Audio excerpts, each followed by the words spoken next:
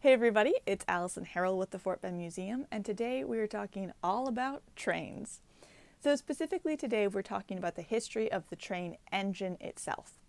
So, instead of going over like the evolution of the machine through the years, we're actually going to go over the inventors who helped this machine become reality. So, we're going to go over brief little snapshots on a number of different people before we get to the final train engine most of these inventors, until I say otherwise, are going to be English. So if I don't say where they're from, just assume it's England. Okay, let's get started. So the first inventor we need to talk about today is Thomas Savery.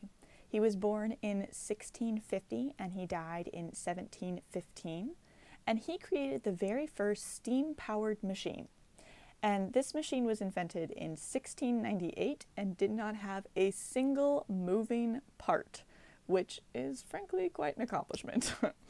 so, steam would fill up a vessel, and then the vessel would be let down into water that needed to be pumped. The vac- a vacuum was formed, and the water would fill up the vessel, and then the vessel would be removed from the water, and the process would be repeated over and over and over again.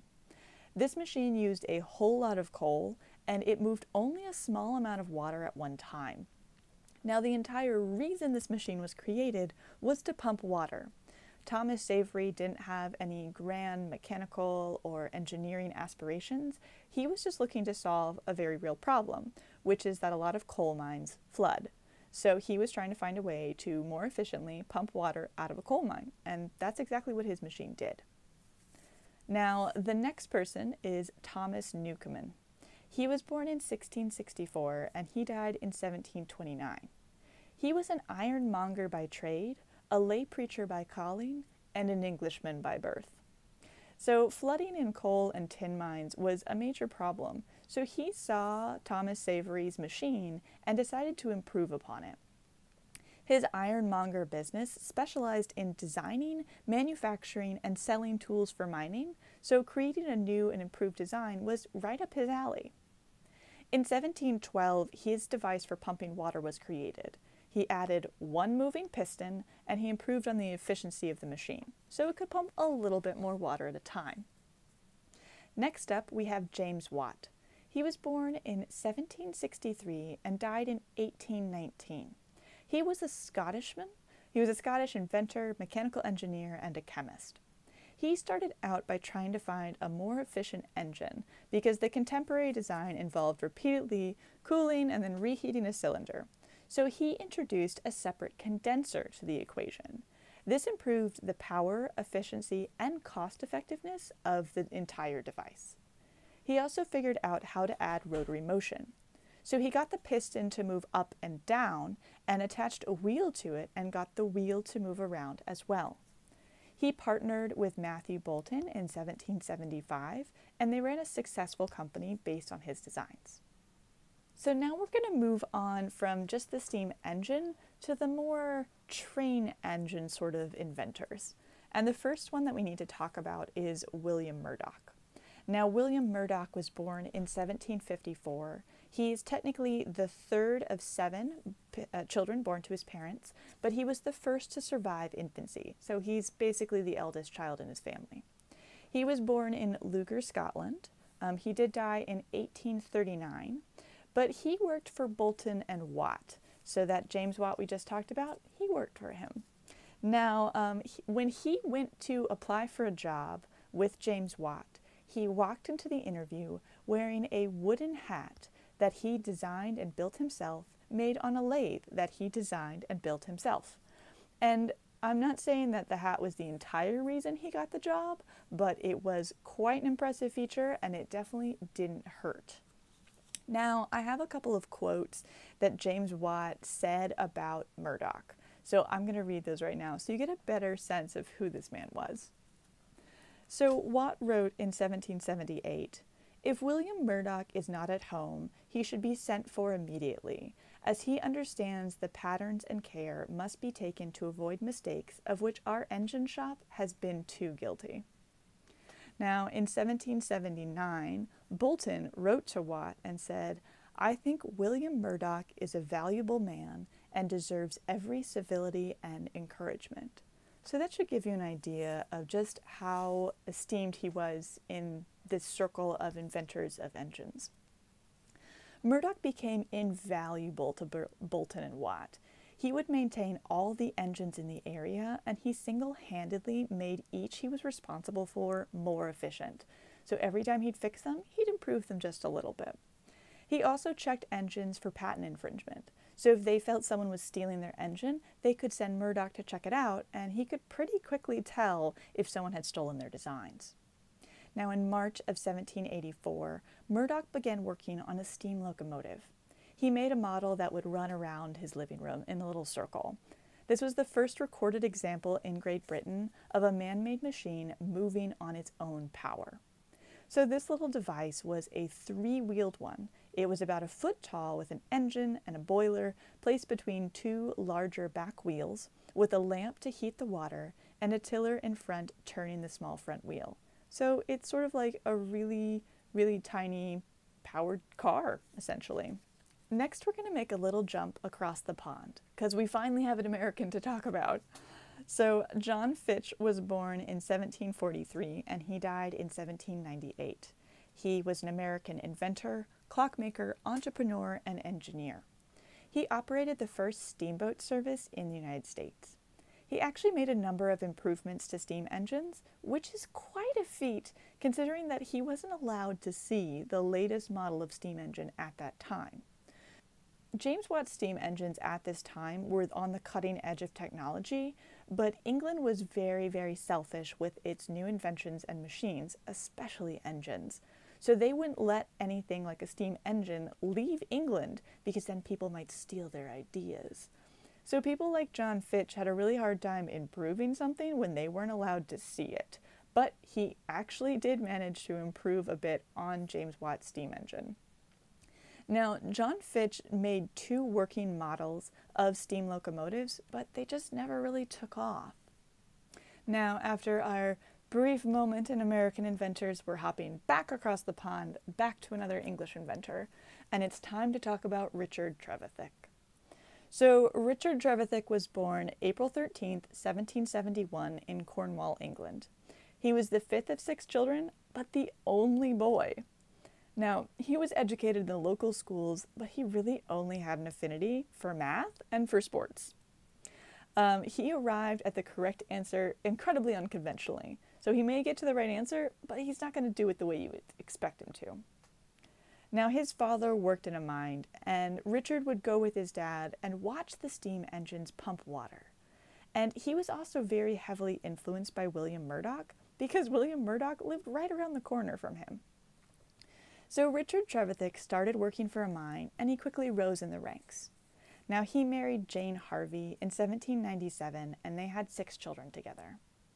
Also in 1797, he became an engineer at the Ding Dong mine. So he started working with high pressure steam engines, and this was all to avoid having to pay royalties to James Watt. So high pressure engines would eliminate the condenser because it would allow for a smaller cylinder, which would save space and weight. The exhaust was vented via vertical pipe or chimney to avoid the condenser. So, by sort of slightly redesigning the engine and by using this high pressure steam, he was able to consider it a whole new invention, a whole new engine, if you will. So Richard Trevithick built a full-size road locomotive in 1801 near present-day Fore Street at Camborne. It was called the Puffing Devil. On Christmas Eve, it carried six people up the street in England. His cousin Andrew Vivian was the one steering it.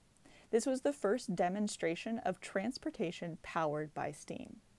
So his engine broke down three days later because it was left running while everyone went to eat lunch, and the engine exploded. Uh, this he considered to be operator error, not an issue on his design's part, and he did take out a patent on this design in 1802. So Richard Trevithick built another engine in 1803. He called it the London Steam Carriage, which was an improvement on the Puffing Devil. He drove this one from Holborn to Paddington and back, which is about three miles. It was expensive to run and really uncomfortable to ride on. One of his stationary pumping engines exploded and killed four people in the same year. And so Walton, Watt and Boulton used this incident to show that Richard Trevithick's engines were just they were just dangerous and no one should use them. So that was their campaign against him was that his engines were dangerous and no one should use them, so you should not use the high pressure steam that he was using. You should use the Watt and Boulton engines. Now, Trevithick once again considered this to be operator error, but he did start adding safety valves to his designs so that the, even though he kept using the high pressure steam, it was a little bit safer. Now, Trevithick sold a patent for his locomotives to Samuel Homfray in 1803. Homfray bet Richard Crawshay 500 guineas that Trevithick's locomotive could haul 10 tons of iron 9.75 miles. On February 21, 1804, the engine carried 10 tons of iron, five wagons, and 70 men, the 9.75 miles in four hours and five minutes. Now, the track wasn't made to support this though, so while the engine made it, the track didn't do so well as a result. In 1808, Richard Trevithick built a new locomotive called Catch Me Who Can. It was named by a friend's daughter, in case you're wondering. He ran it on a circular track and he charged people to ride it. It didn't really get the response that he wanted. He was looking for more of a commercial venture, but um, it did sort of pick up a little bit of steam, if you will. He continued to invent and improve on other designs, and then he died on April 22, 1833, in Dartford of pneumonia. The next inventor we need to talk about is George Stephenson. He was born in 1781 and he died in 1848. He was illiterate until the age of 18 when he paid someone to educate him. He married Frances Henderson in 1802, and they had one son, Robert. Now, George Stephenson invented a safety lamp for miners in 1815. It was concurrent with another, and he was actually accused of stealing the design for his safety lamp. Now, the other inventor in question did not believe for one second that a non scientist could have made anything. Stephenson was ultimately proved correct, but he gained this intense distrust of scientists as a result. He designed his first locomotive in 1814. It was for hauling coal, and he solved the rail issues that arrived slash arose at the time. So George Stephenson built an eight-mile railway in 1820. He was hired to build the Stockton and Darlington Railway in 1821. This would be the first public steam railway in the world. He was also in charge of the Liverpool and Manchester Railway. He had to resurvey the entire route because it was done incorrectly the first time. There was a competition held to see who would build the locomotives for this railroad in 1829. And um, George's son Robert actually designed and built a locomotive called Rocket. Now, Robert was educated both by institutions and by on the job training with his father and others. He had spent the previous three years as an engineer in Colombia, South America. So let's talk about the rocket locomotive itself. It wasn't the first locomotive, but it combined four inventions together to become the most advanced locomotive of its day. It was the template for steam engines for the next 150 years and in the competition to see who would power the Liverpool and Manchester Railway, the Rocket won. Now, George Stephenson is considered the father of the railways. He and his son Robert both continued to work in railroads, and they were sought after and praised for both their work and their knowledge. George died in 1848, and his son Robert died in 1859. By the early 1850s, Great Britain had over 7,000 miles of railway. This was only 20 years after the first public railway was even built. Now, let's talk a little bit about trains coming to America. Okay, so in America, as I previously mentioned, England was super secretive about all of their new designs and their new engines and their new machines. They didn't want anyone else to know about all of their great advancements. So, the first American built steam locomotive to operate on a common carrier railroad, was the Tom Thumb. This was designed and built by Peter Cooper in 1830. It raced against a horse drawn carriage. Now, the Tom Thumb suffered a mechanical failure and the horse actually won the race, but it did prove the concept that steam locomotion was effective. It was made a proof of concept and it wasn't saved, so we don't have the Tom Thumb anymore. They actually scrapped the entire locomotive and used it to build other things. Now, up until this point, innovation in steam locomotion had been made only in England. In 1830, in New York, a locomotive was built for a South Carolina Canal and Railroad Company. This was the first fully built in America locomotive. It was shipped to South Carolina and it was christened the best friend of Charleston.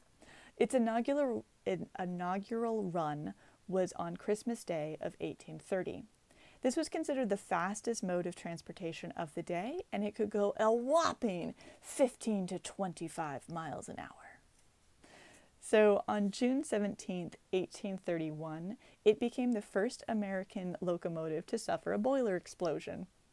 Someone closed the steam pressure valve because the noise was annoying to them. And this valve was one of those safety valves that um, Richard Trevithick added because of just such reasons safety. Now, from it was from that point on that cotton bales were actually placed between the engine and the passengers. So it was just one of the ways that they solved this problem was by keeping the passengers away from the locomotive so that they don't get annoyed by small noises like safety valves. And also the cotton bales served as a buffer, so just in case the locomotive did happen to explode, there was a bit of a safety buffer so the passengers would probably be okay. So that is my entire brief, quick history of the steam locomotive. So we went from steam engine to locomotive itself, and we even got them all the way to America. So hope to see you next week. Bye.